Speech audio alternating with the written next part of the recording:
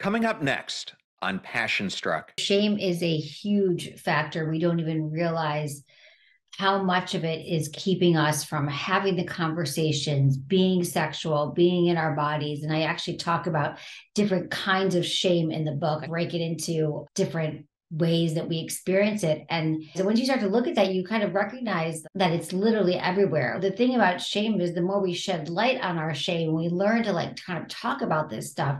It does kind of go away. It's like shedding light on our darkness. It's so pervasive in uh, why we don't want to talk about sex, why we don't feel comfortable in our bodies. It's body shame. Shame is really heavy. Welcome to Passion Struck. Hi, I'm your host, John R. Miles, and on the show, we decipher the secrets, tips, and guidance of the world's most inspiring people and turn their wisdom into practical advice for you and those around you. Our mission is to help you unlock the power of intentionality so that you can become the best version of yourself. If you're new to the show, I offer advice and answer listener questions on Fridays. We have long form interviews the rest of the week with guests ranging from astronauts to authors, CEOs, creators, innovators, scientists, military leaders, visionaries, and athletes. Now, let's go out there and become passion struck.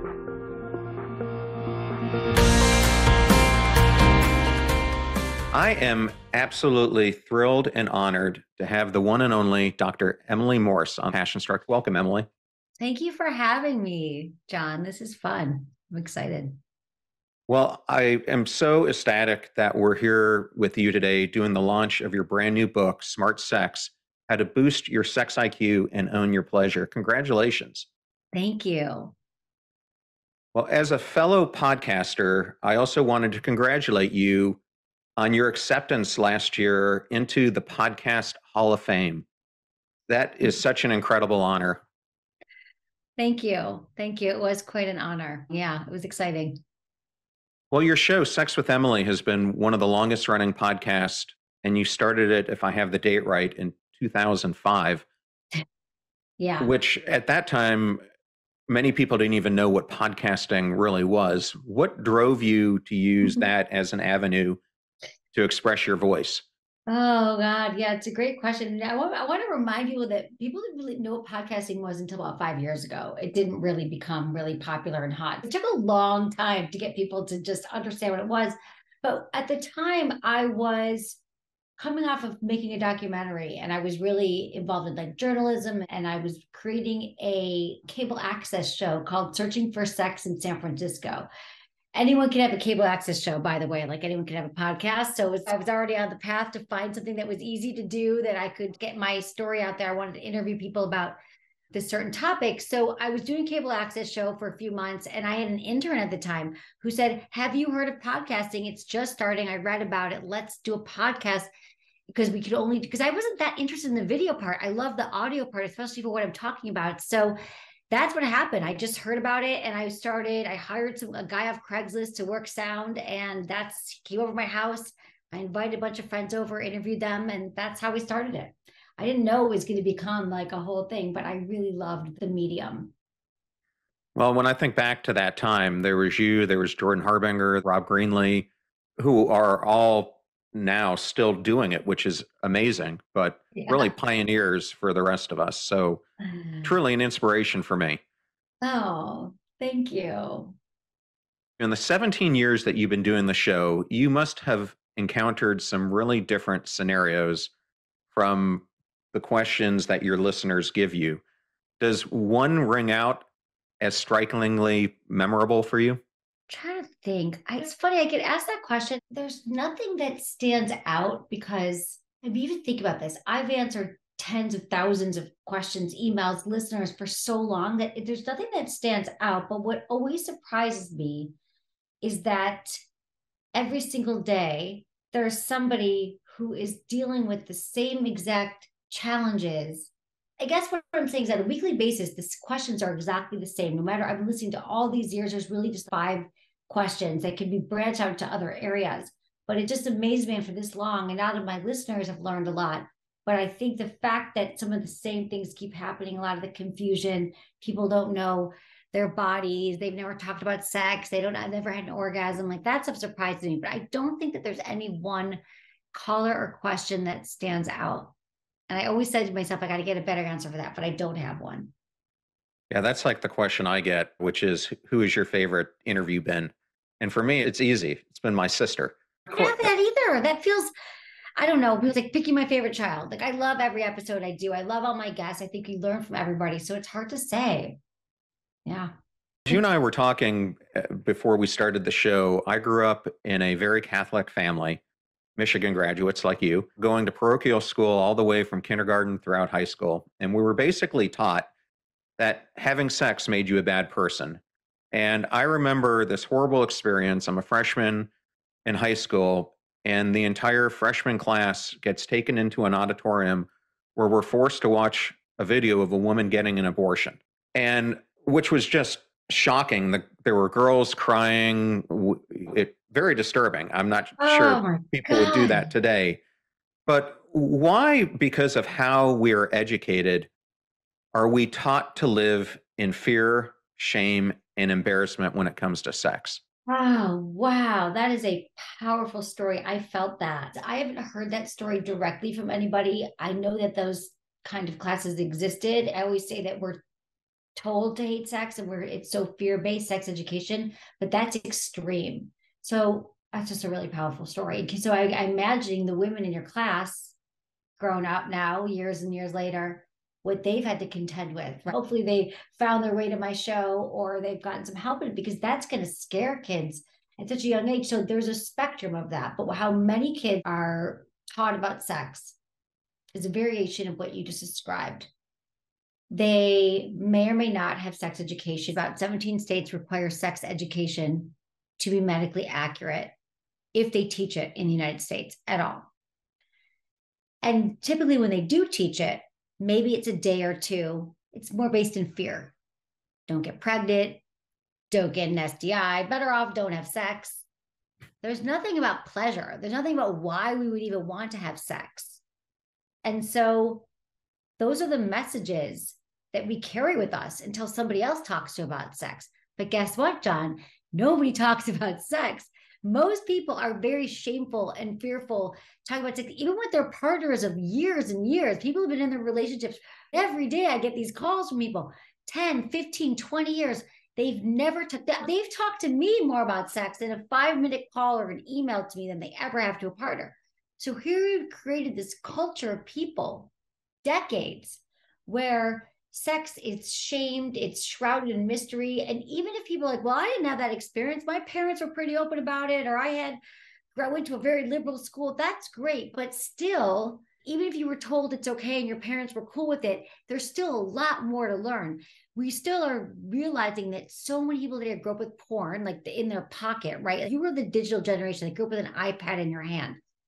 You've been seeing images of sex and porn since you were maybe eight years old. And so now in absence of the sex talk or maybe very minimal sex talk, it's now replaced by pornography. And what you've seen is that sex. So now I know nothing about sex, or maybe I know it's going to get me pregnant and that's scary. And then I see porn. So there's a lot of misinformation out there. And so I'm constantly, I think of what a lot of what I do is help people to unlearn and then relearn what sex actually is. So the fear, the shame, the embarrassment, that all comes from a lot of lack information, misinformation, growing up in conservative religious backgrounds, and just the conversations about sex not being accurate or helpful. Yeah, I recently did an interview with Dr. Will Cole. I'm not sure if you're familiar with him, but yeah, yeah he has a new book out uh, called Gut Feelings but we talked a lot about a term that he's created called shameflammation, which is I that chronic stress. Term. Yeah, chronic stress creates this continuance of shame and inflammation, and they both interact with each other. But when I was reading your book, you talked about how many people are not having a great sex life and experiencing pleasure because of this problem that's rooted in shame.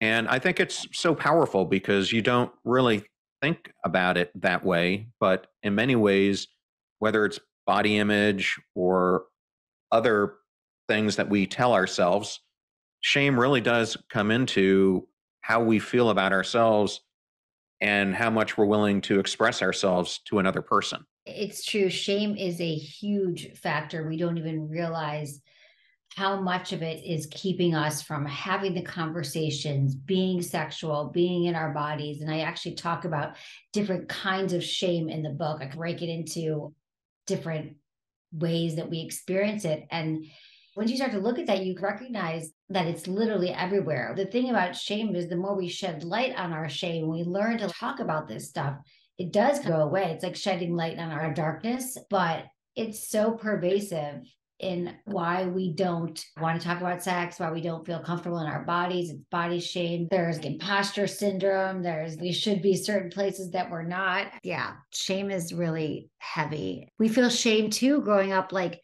we might even feel shame from if we touch ourselves, right? So even our first sexual experiences, if we masturbated, we could also feel shameful. And then we might feel shame every time we have sex because we still these messages that sex was wrong, right? So oh yeah, yeah. I mean, in the Catholic religion, I was brought up to believe that masturbation was a sin. Yes. So, and that's probably true with many different religious it is practices.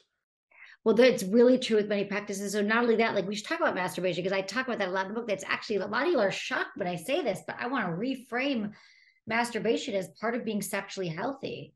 It's actually part of being really connected to yourself and having better sex is having that relationship with yourself. For many people, they did grow up with messages around masturbation and they might not even remember it. Like they might have been at a very young age, maybe even pre-verbal, and they put their hands on their pants, and maybe a parent said, Oh no, don't do that. That's dirty. That's wrong. So even before they remember it, they know that touching themselves is wrong. And the reason why masturbation is so important is because it's how we connect with ourselves and how we learn our bodies and learn how to explain to our partners what feel good actually having an orgasm is part of being sexually healthy. It helps with our dopamine levels and our stress and uh, help with our skin, helps boost our immune system. So there's all these ways that it's great, but if we're told that it's shameful, then you get into relationship with somebody, and there's a lot of people who just feel like offended if their partner masturbates, and they feel like it's disrespectful. They feel betrayed. There's shame around it too. So people feel then they shame their partners, right? So it's a cycle that just that doesn't end unless we decide that we want to take control and have agency over our bodies and our own sexuality, which I think is a choice. Anyone can make that choice, maybe today. Yeah, well, I know one of the things you talk about is mindful masturbation in the book. Why is that important? Mindful masturbation is important because let's say you do have a masturbation practice. A lot of us just masturbate because we know what we like and we hit it and we quit it and that's done. And that's fine. There is no judgment on that. I'm glad you're taking care of yourself. However, being more mindful, I'm very into mindfulness, meditation, and presence. First, let me say this is that one of the most common complaints I hear from people and questions I get people is how do I be present for sex? Why am I so distracted in the bedroom? My thoughts are wandering. I'm thinking about other things. I can't get in the moment. I'm fantasizing about other things. They feel like they can't be present for their partner. And that's a huge reason why people don't want to have sex instead of pleasure.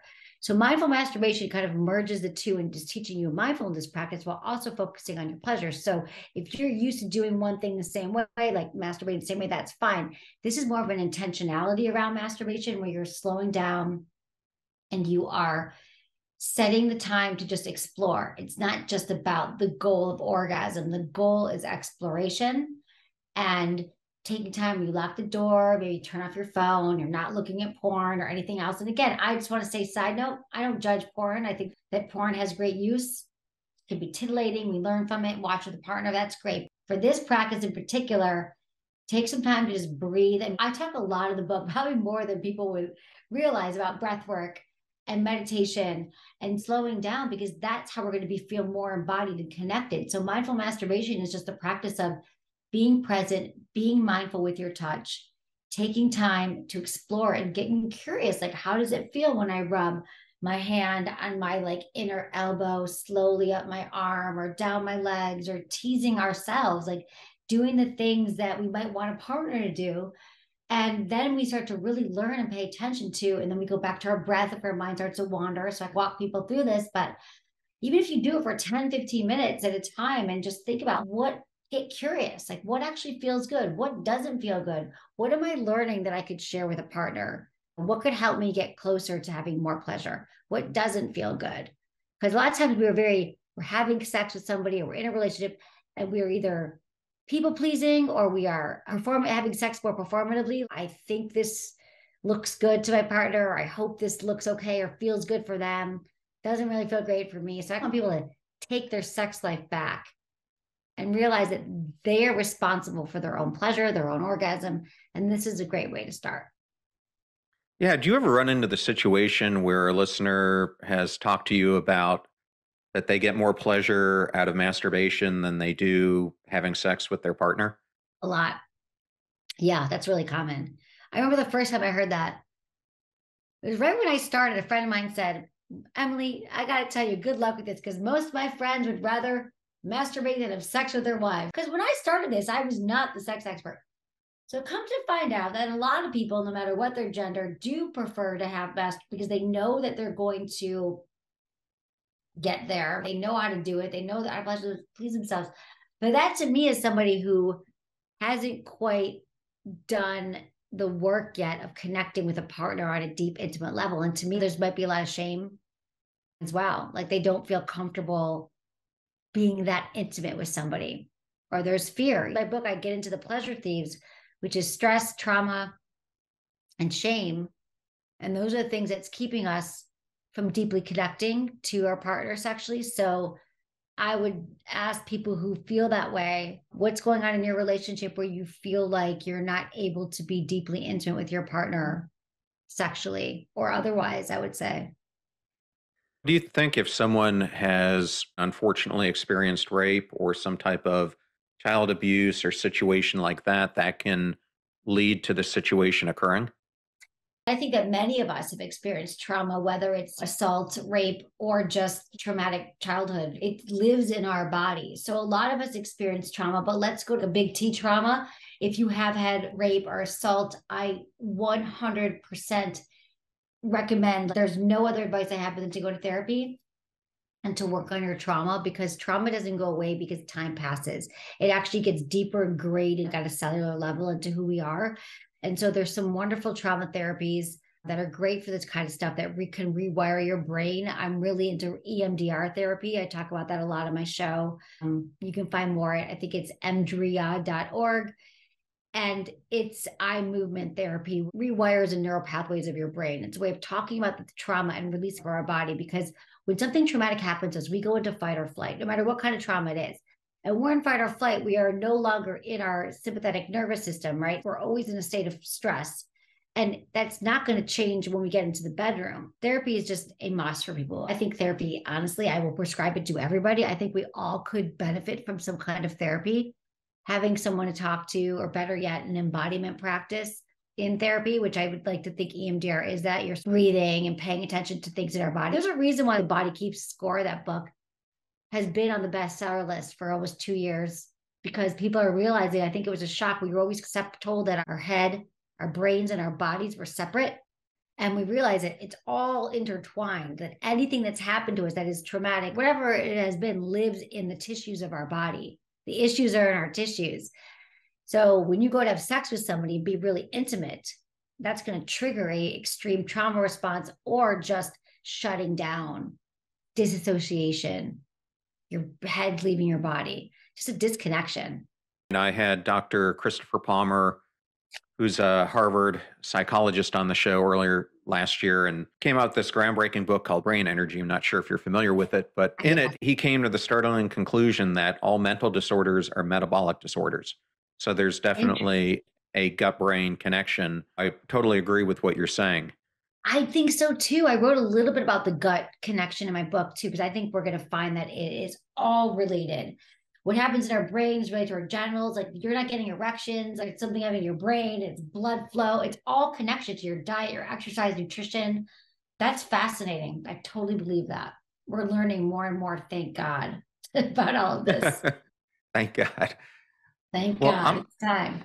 I'm going to go back to how you got started in all of this. In the book, you wrote that at 35, you thought your best sex was behind you but you ended up finding the exact opposite was true. If the listener isn't familiar with you, which some of my listeners might not be, you actually have a doctorate in human sexuality. And when I was mm-hmm. doing the research, I found that there are only two accredited programs for this.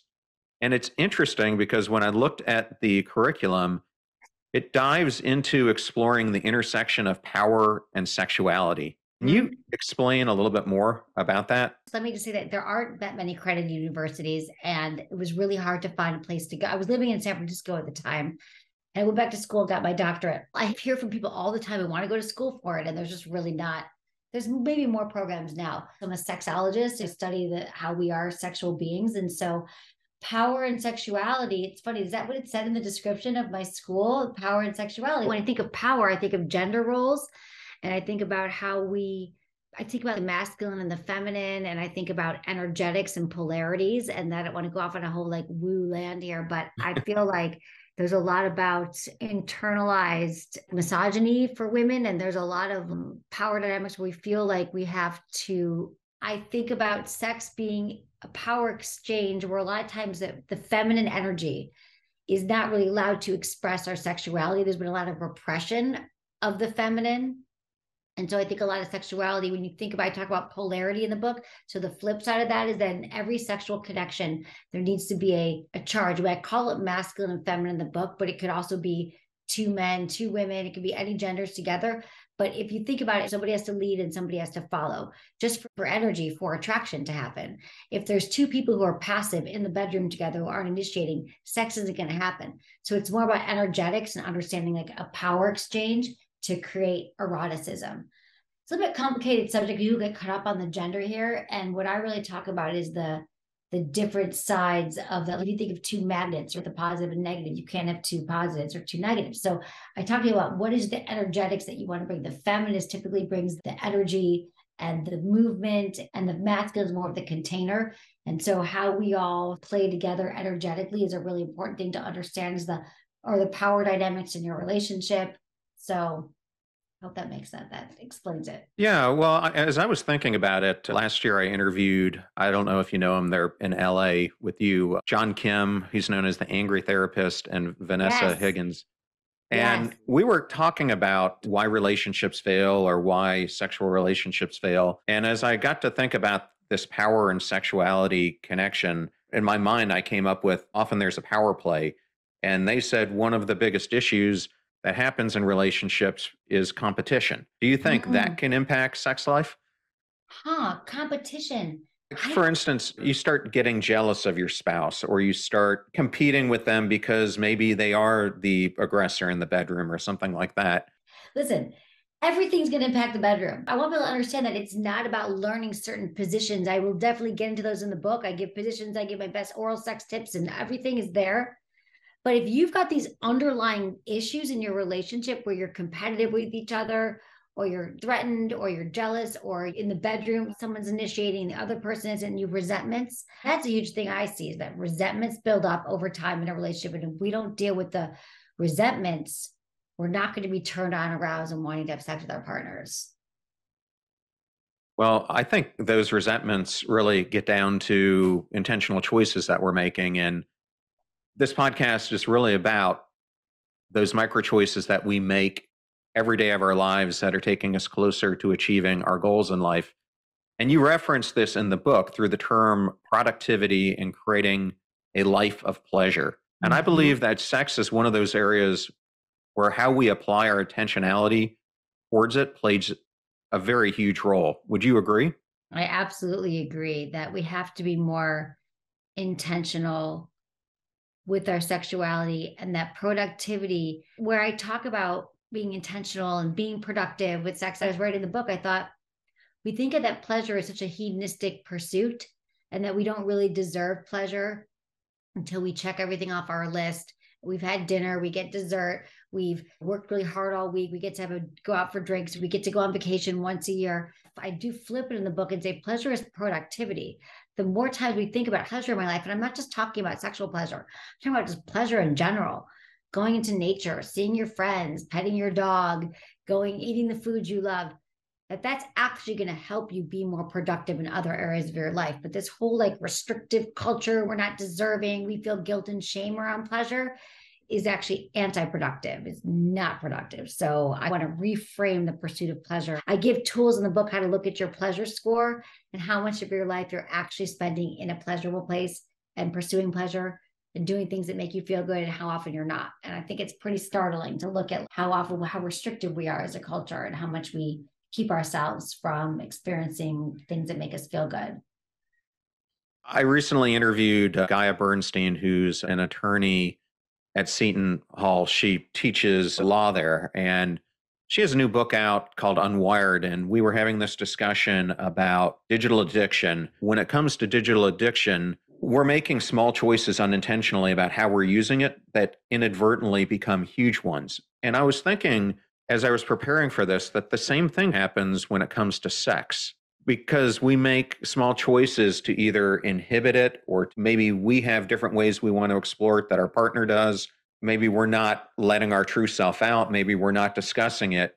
But I think the more we repress that and we make these tiny choices to ignore or to, mm. you see where I'm going with it? I yes, think that's such a wonderful point, John. That is so true. We don't we absolutely sabotage ourselves and make so many choices that keep us from having satisfying, fulfilling sex and intimacy. Like I want people to remind people that sex isn't just penetration. Like I'm talking about intimacy. And yes, we are keeping ourselves from that all the time with little micro decisions that are affecting the macro for sure. Wow, that's really powerful.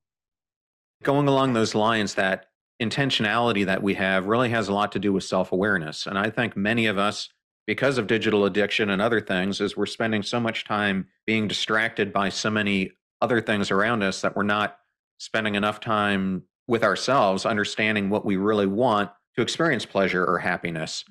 I was hoping maybe you could explain that link between self awareness and sex.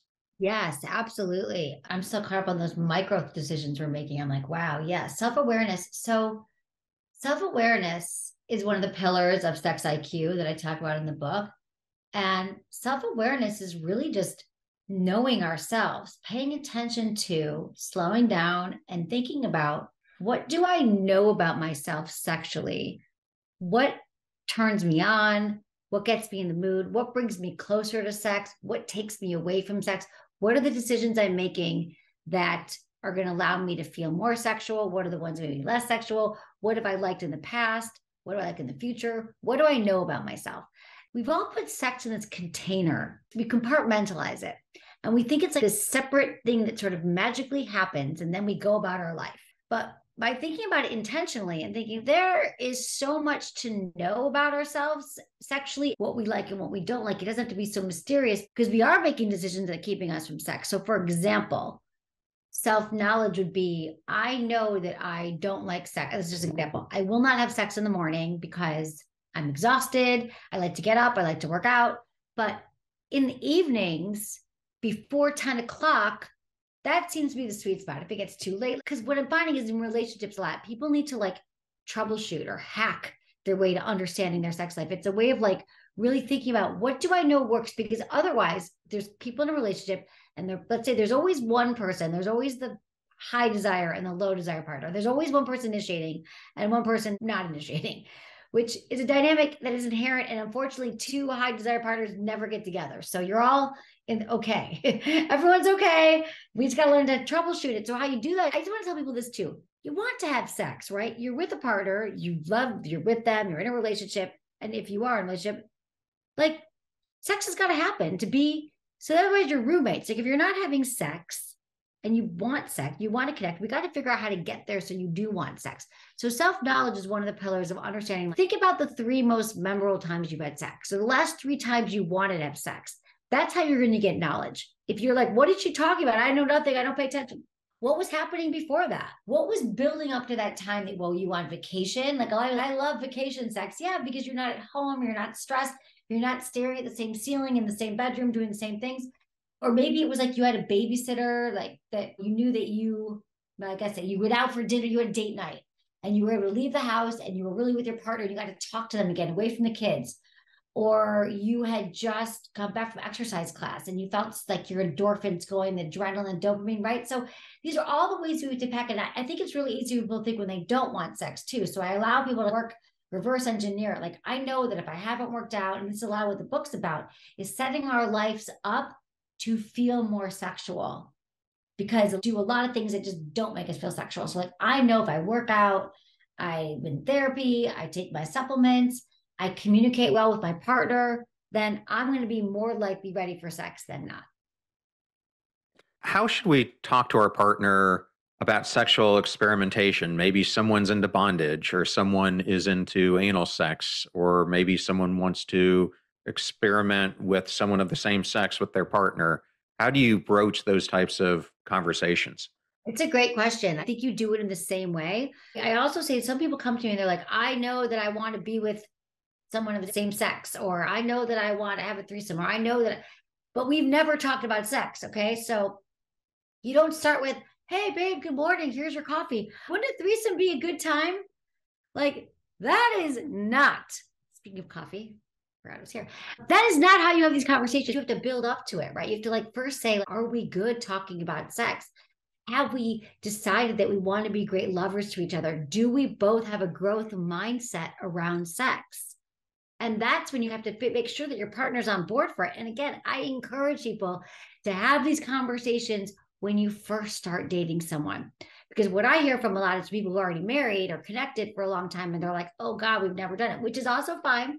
That's like most of the planet right now, because going back to earlier in the conversation, most people don't have experience talking about sex. So this is a process. This is a process using the three T's and saying, would you be open to that? I gotta warn people that a lot of people, when we bring up sex for the first time with our partner, they go into fight or flight. They go into what did I do wrong? You're bringing up sex. Sex is our little thing that we do in the bedroom and we don't talk about it. What did I do wrong? I'm a terrible person. I'm a bad lover. Like we go, all these things go in our head.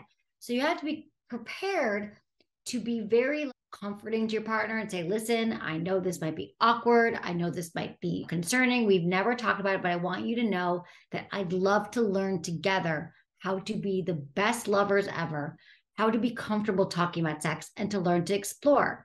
Would you be open to it? It's been useful for many couples over these years. Like they'll listen to my podcast together. And I used to just not really understand this, but people would say to me like we drove all the way from chicago to detroit and we listened to like your podcast the whole time 10 hours 12 hours. And i was thinking that's a lot of podcasts. But what i realized is the way that i talk about sex is i normalize it. I talk about it like we're talking about the weather like sunny with a chance of orgasms right? And then people realize like oh why is it so weird? She can do it these and then they hear the callers people call into the show and they start to understand that it's a language or they can turn down and go okay what do you think about that? Dr emily says that we should download her yes no maybe list to have fun. Would you do that? Oh maybe not. And it gets couples talking. It's like i'm a conversation starter for them. And i understand the first time doing this is really terrifying to people but it gets a whole lot easier. I was not born this way. I don't think i ever had a conversation about sex till i was 35 so everyone feels like they're oh my god no. It's okay to start where you're at I think, John, I'm so grateful you have me on the show because I just know that this is my mission is to get people to feel comfortable talking about it. So I'm glad we're really getting into it here. Yeah. Well, I think uh, another thing that people have trouble with is let's say you're not satisfied with the sex that you're having with your partner. Maybe you're the female and you're having to fake an orgasm because it's just not hitting your spot how do you recommend giving sexual feedback so that the other person responds in a way that's going to be powerful in helping both of you experience more pleasure? Hmm. It's a really good question. One of the great ways to do is called the compliment sandwich. And the compliment sandwich is a very specific way to give constructive feedback that might be hard to give in a way that they can take the advice or take the suggestion and work with you on it and really hear what you're saying. And it goes like this so think of the sandwiches. You've got two pieces of bread and you've got like the meat in the middle. So the first layer of bread would be, hey, I really would love to like, I'm going to tackle it. You said faking orgasms, which by the way, I opened the book with this, but like I faked orgasms. So I was like 35 with a partner. I should also let everyone know that only 20 to 30% of women have orgasms during penetration. That's what surprises me every day that people still don't know that and that women walk around still feeling broken. I just talked to my friend's daughter who's 18 and she had five minutes alone with me and said, I'm with a boyfriend right now and I, I'm faking orgasm. So this is why I still do the work every day because here's somebody who's decades younger than I am and still is feeling like she has to fake it. So anyway, compliment sandwich. So I want to talk about our sex life and I want to say like I love I love our connection. You talk about something that you love, like I, that you're really into. It is so hot the way you go down on me. Like our oral sex is next level. Like when I see you going down there and your tongue and the things you do feels amazing. And then you say, and I want you to know that sometimes I realize that I'm more likely to have orgasms that way or with a finger or with some other things. But when we're having penetration, I feel like we're just not hitting the spot. And sometimes I feel like I'm about to orgasm, or I might have even seemed like I'm having an orgasm or faked an orgasm, but I'm really not. I really know that this is the way I'm going to do it. And then you close it with, and I really think that if we can focus on other ways for me to have pleasure and for me to really be able to explain to you what I need, that our sex life is going to the next level. And then I'll be able to be a great lover to you and find what you need. And I can't wait to try all these things with you. So that's it. You come in with something you're into, you give some feedback in the middle, and then you're like, why is this great for both of us? You fake orgasms. Like, I'm not saying that it's going to be done. And then you go back to, yeah, I'm learning about my body. I'm learning. I don't think that you would want that either. I'm so sorry, but this is all the things that I do like. I realize that I fake it because I wanted you to feel good. Like, right? The right partner is going to be like, okay. And then they're going to realize that, like, it's not even all about orgasms, about connection and intimacy. And once you let go of all the pressure, there's going to be a lot more orgasms happening. I guarantee it. So, audience, think about that muffuletta sandwich that you had for lunch. well, I want to make sure we get into a couple of the core components of your book. And you mentioned it earlier. One of the areas that you really go into is something that you call sex IQ. What are the five pillars of sex IQ and why are they significant? Okay, the five pillars of sex IQ. These are five pillars that are directly impacting your sex life, your ability to be sexual, aroused, turned on, have orgasms, have pleasure. And I often think that people don't didn't see the connection between them. So I'm giving you the pillars so you can learn to up level your sex IQ. First one is embodiment. How embodied are we? How is my mind and my body connected so I can pick up on my physical and my mental cues and so I can be present during sex? So that's the first one. That's embodiment. And I give a lot of tips for, for feeling more embodied, like recognizing. Remember, I was talking about mindful masturbation. That's a great embodiment exercise. Where am I feeling sensations in my body? The next one is our health. And I think that it's your mental health and your physical health. Are you on a certain medication that's going to be impacting your ability to be turned on? Are you moving your body? Are you exercising? Blood flow is a huge connection to our ability to get aroused prioritize your wellness. The non negotiables are nutrition, exercise, diet, therapy. Collaboration. Collaboration is about communication. To create meaningful and intimate sexual experiences, you need to be able to communicate and collaborate with your partner. You have to have these conversations because you could be really healthy, you could be really embodied, but if you've never talked about sex, it's going to be really hard to be an excellent giving lover. Fourth one is self knowledge. Self knowledge is there's so many environmental, physical, psychological factors that can help us from knowing ourselves, from understanding ourselves. You must understand your arousal patterns, how you get turned on. What are all the things that are going to get me in the mood for sex, like we talked about earlier, and like knowing that and bringing that to the table I'm constantly monitoring what do I know about myself.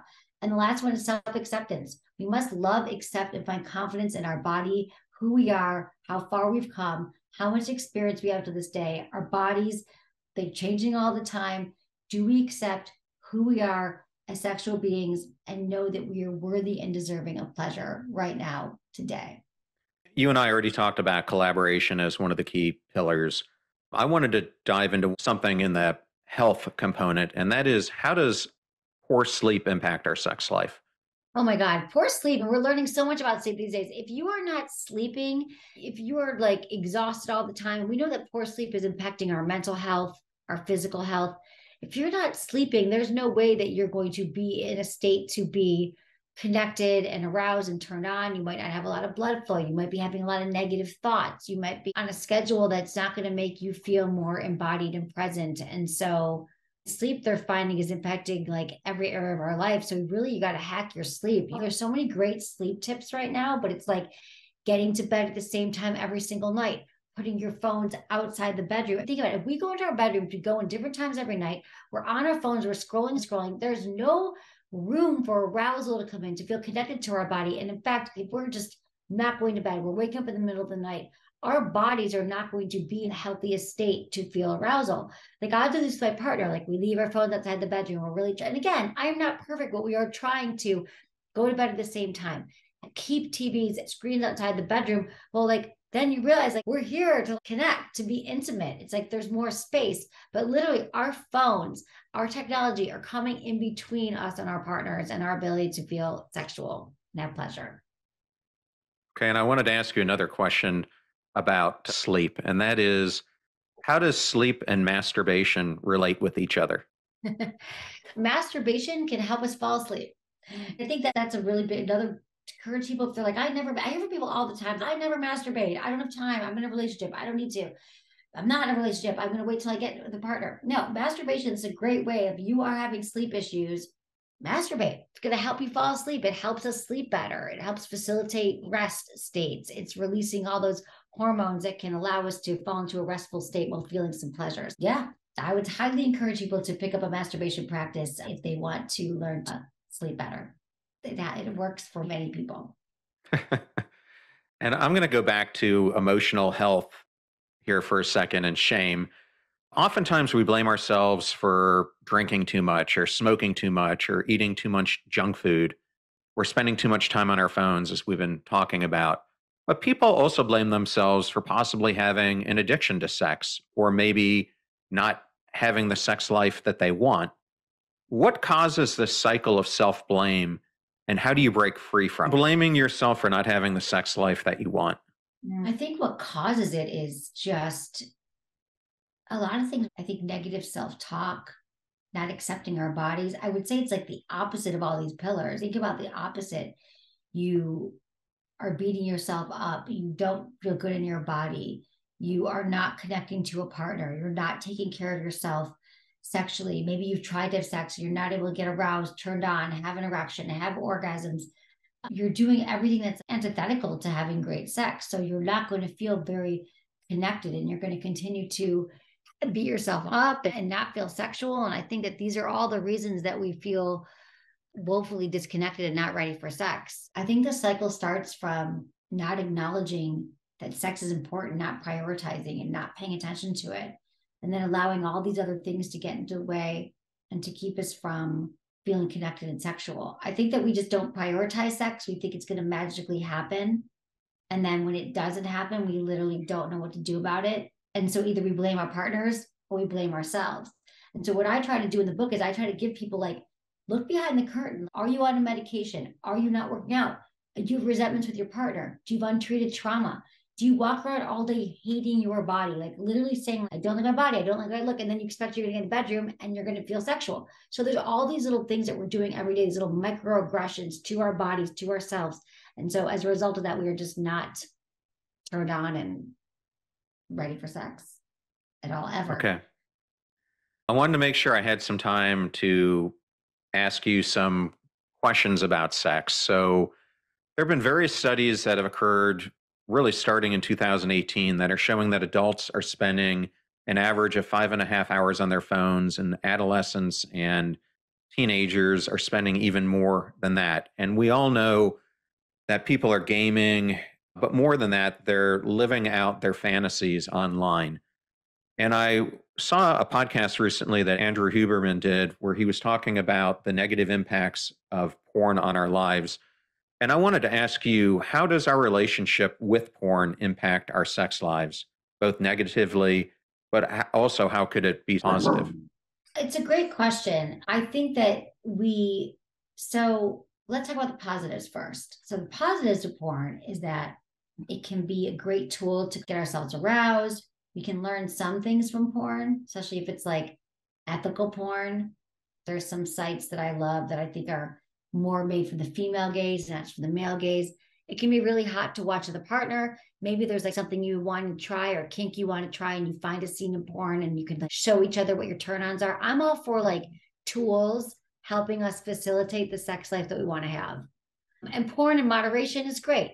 But like anything, we're talking about addictions, too much of anything is going to cause a problem, right? So we're talking about kids who grow up with porn. That's all that they're seeing, right? That's sex to them. And then for people, they start to realize that like it feels really good. I'm watching porn. That's the net. They feel safe watching porn. And then people can start to escalate their porn watching. So they're watching something and it's really hot. And then they're like, well, what could I watch that's even more extreme? By extreme, I mean it's like maybe they're watching threesomes and then they're watching more like abusive porn or like gangbangs. And again, I'm very careful in my language. I don't speak in absolutes because for some people, like watching a gangbang is like really hot every once in a while. That's fine. But I'm talking about people who like they keep escalating to the point where they actually feel bad themselves. They're like, I'm not going to do this. Okay, now I'm going to watch it. And then they can't stop. And it becomes this escalation and it becomes this point where they actually can't get aroused and turned on with a partner. They can only get aroused from porn because we wire our brains around what we do the most of. So we get addicted to our phones in the same way, it's a distraction. Porn watching becomes this repetitive cycle. That's what sex becomes. It just becomes a replacement and addiction in that way. But addiction, I don't want to get into it, but like in my field, like, oh, people are so like, you can't be addicted to sex. You can't be addicted. I don't love to use that language, but all I'm saying is that we all know if we have a problem with something, when people ask me, like, do you think I'm addicted to porn? It's like, is there a consequence? Are you feeling like you can no longer get aroused with your partner? You're late for meetings because you're uh, watching porn all the time. It's all you're watching. Like then, if it's a problem and you're asking me, like then we can do something about it. So I think that's where we see the challenges around porn when it just escalates to a point where it no longer feels like we have agency over our bodies and our sex life.